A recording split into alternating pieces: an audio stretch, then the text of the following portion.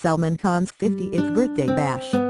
Salman Khan celebrated his 50th birthday with friends, family and colleagues from Bollywood on Sunday, December 27 with a grand bash at his farmhouse in Panvel.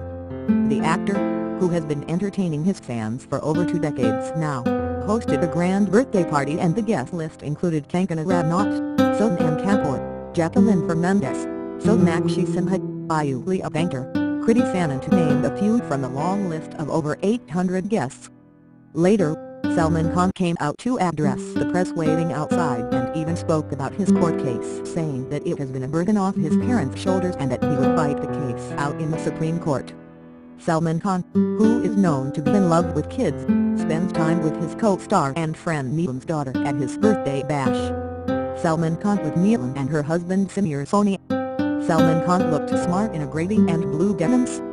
Salman Khan's little sister Arpita's husband Ayush arrived with his mother, Sonakshi Sinha, who first romanced Salman in her debut movie Dabangg, snapped with her mother Poonam. Hero actor Sooraj Pancholi was also a guest at the party. Karisma Kapoor and the gang was also at Salman's bash. Seen here, Arbaaz Khan, Karisma Kapoor, Malaika Arora Khan and Amrita Arora. Seen here, Salman Khan cuts the cake along with sisters Arpita, Alvira and his family and friends. Thanks for watching.